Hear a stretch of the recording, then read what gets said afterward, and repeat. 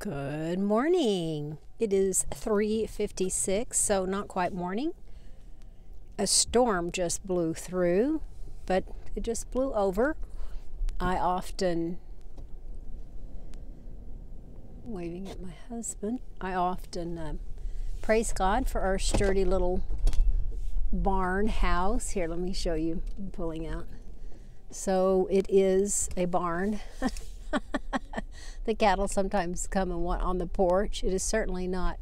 The downstairs is done. That's the end with the kennel on it. The upstairs is not, but it is going to be because this year I have decided that it is all about faith, right? Here, I'm going to show you something else. Ace, you are being naughty to Peanut and you're trying to herd him around, Mr. Naughty Britches. Oh my gosh, is he gorgeous? He is a sweet ride. He's like riding a Cadillac. Ace, they've been laying down. It rained so hard that it got them all wet. I can't really pull down in there. What you doing? You fatty fatties? He's pushing. See. So Harley is the lead and then Ace, and then Peanut. Oh, he's rolling here. They all old. It's a good scratch when you're nice and wet. Uh huh. Ah, I heard that. Let a little air pass there, did you?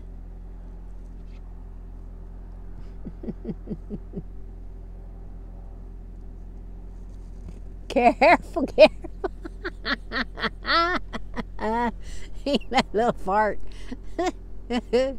I see you. Ah, he wants to he wants to fuss. Peanut said, "You're going to see the back end of my hoofs. You're going to see the back end of my hoofs."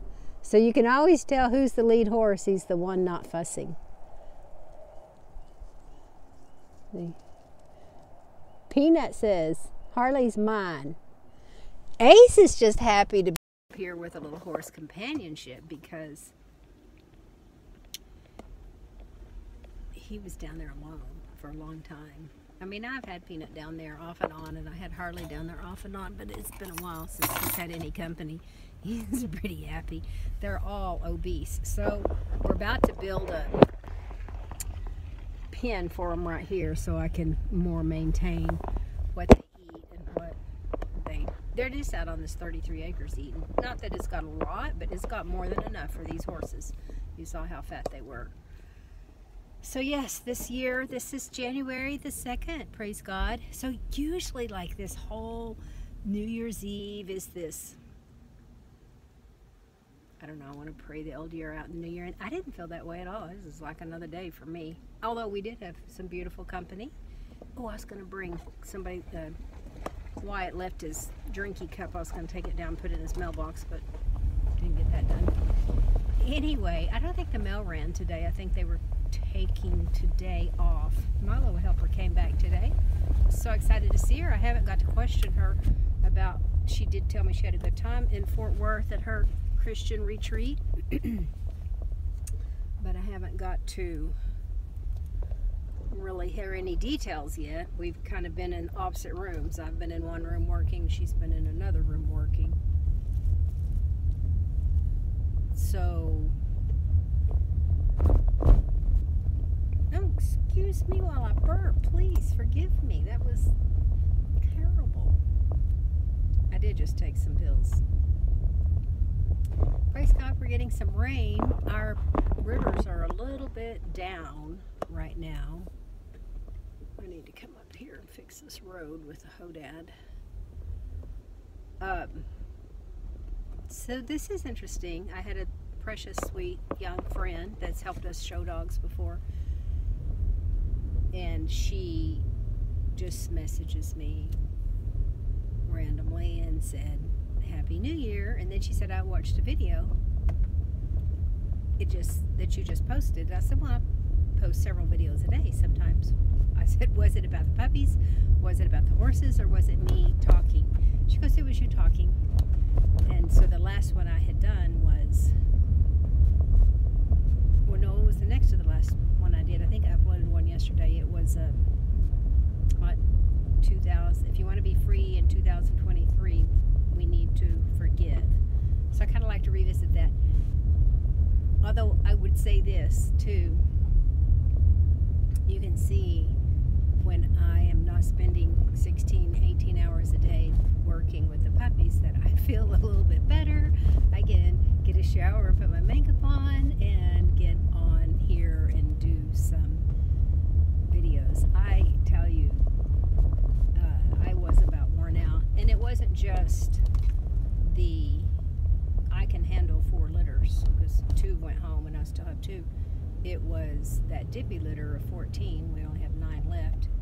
No fault of mine, not for not, not taking care of them, but uh, four of them had restricted esophagus. So that is a something they're not going to get over. But I was taking constant care of them. They could not eat on their own, so I was tubing them and just taking quite a bit of extra care of them. So anyway, praise God. I'll see them on the other side. So anyway, to say, I said all that to say this. No one else. I didn't know of anyone else that could do what I was doing for them, taking care of them. So it was up to me to keep them. So, but anyway, God is good. God is amazing, and I have struggled with a lot of things. You know, people sometimes look at me and think, I don't know what they think. I, I got a, I got all my ducks in a row. That is not true. You know, and, and questioning God about, uh, God, if you love me, why did these puppies die? You know, God, if you love me, why is the enemy stealing from me? Uh, and I don't question God's love for me. I question sometimes why I don't have enough faith to see my puppies healed. Uh, but, you know, that's a matter of building our faith, building our faith. What kind of faith do you have? It's like saying, I'm going to go run a marathon. Well, you're not going to get in shape in a day or a month to go run 29 miles. It takes probably about a year to get in that kind of shape. So don't pretend like you're going to have faith do some miraculous thing unless you are in the Word of God and you're building your faith. So that was my point on that. So God is never our problem. God is for us. He is not against us. He's cheering us on. So, I really didn't want to talk about faith today, but just to say, you know, just to say, I can tell you all the things to do, but it's the degree that you believe God to see the dead raised and see the sick healed, right? I mean, I on my goal list is to pray for people to see the sick healed, to see limbs grow out, to see the blind eyes opened and the deaf to hear. Yeah. That is yeah, and if you think that's crazy or unreasonable, then you just haven't been around people that are doing it or seeing it. So maybe it sh- this should be about who we surround ourselves with, right? Anyway, I don't know why I said all of that. I kind of really wanted to talk about forgiveness, and it takes faith to forgive. Faith to forgive. Faith. Faith. And God told me this one time. You know the scripture that says, Vengeance is mine, saith the Lord, I, I shall repay. I never understood that until I heard this guy's testimony of being in hell. And this guy's name was Byron Mel- Melvin, and he wasn't a Christian when he died, and he went to hell.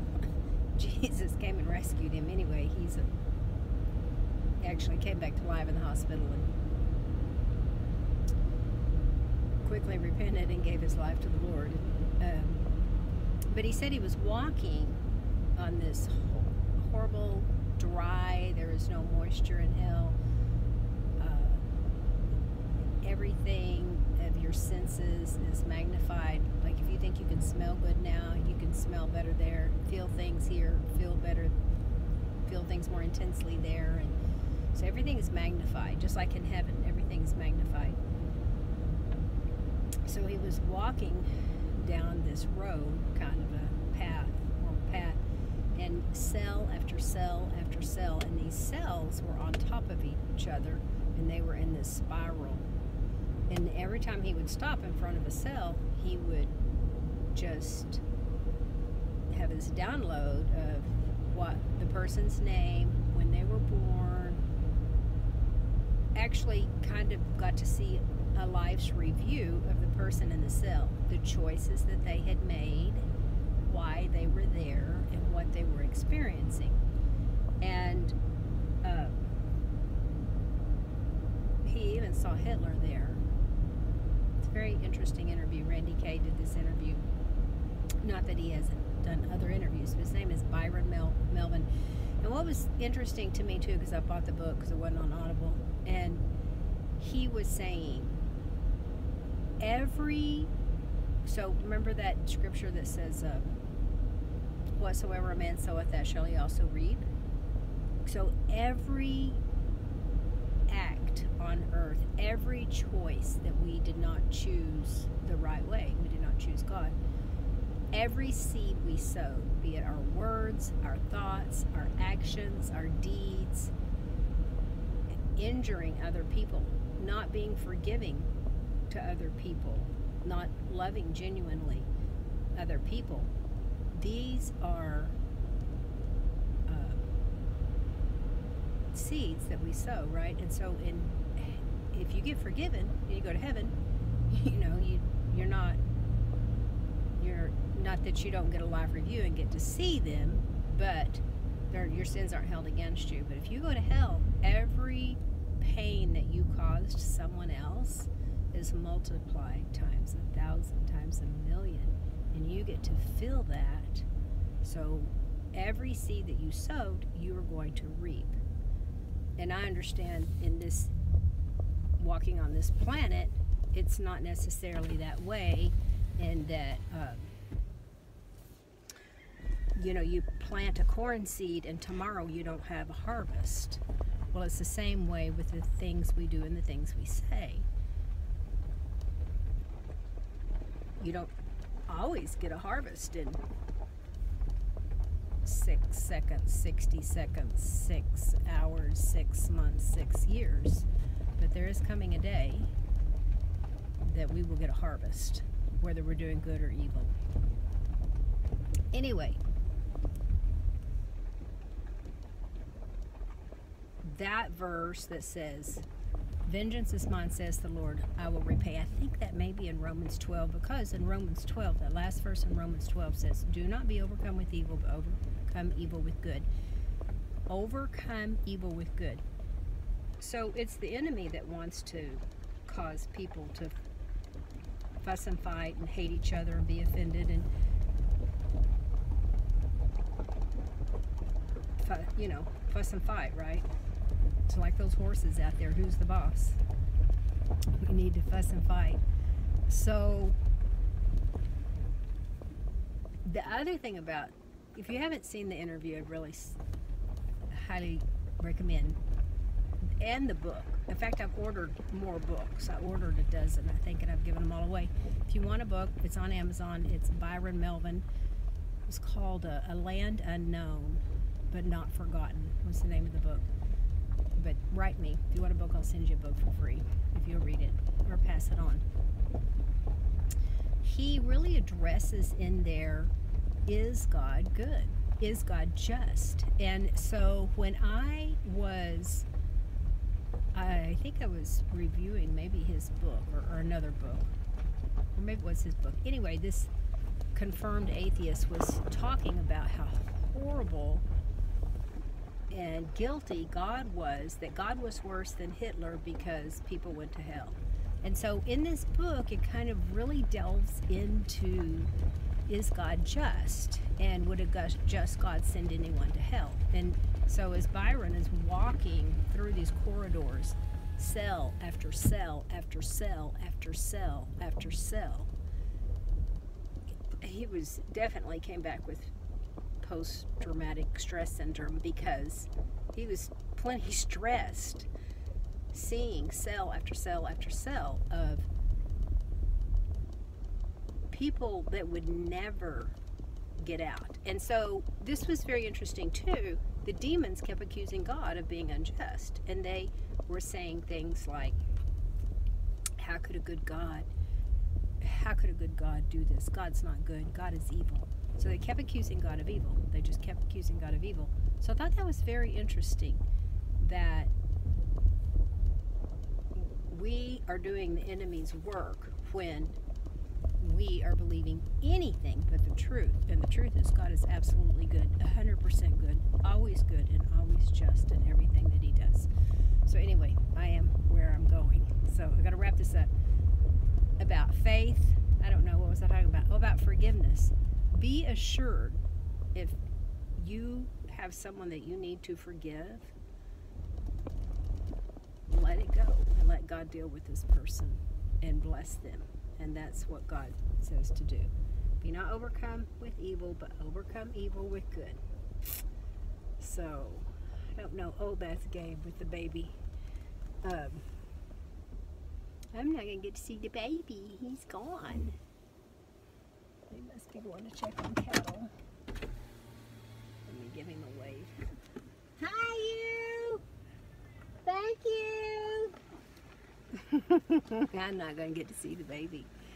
So let me pray for you because if you believe that God is not absolutely good, then get in the Word of God and prove that He is. He is. Um, he is. I'm here to tell you, He is absolutely good. And His judgments are just and they are right and they are true. So thank you, Lord. We pray as an act of our faith as an act of obedience that if there are people that have offended us, injured us on purpose or on accident, we forgive them and we let them go. Thank you, God.